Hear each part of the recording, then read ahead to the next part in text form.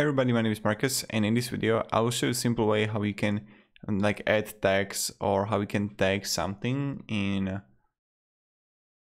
Notion. Like it's really important, it's good to use it in table, you can use it wherever, it's like up to you. But what you want to do is pretty simple, just click plus here, add here like tag and you get a property type here and you want to choose multi-select. You can also choose select like only one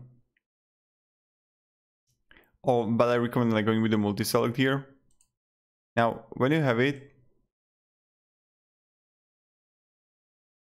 just click here. And now you have the search, like let's go with the name, I don't know, marketing, right? And I can go with the tag and create Facebook.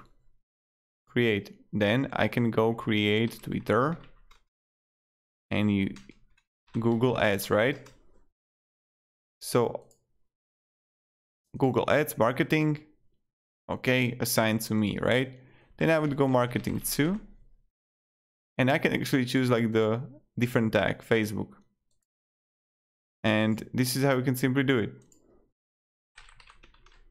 And then I can just like search it by a tag. And if I would have also Facebook here and I would go search in a table, I'm going to search it by both of these. So this is how the tags work in Notion. Thank you very much. If you have any questions, guys, ask me down in comments and have a great day and good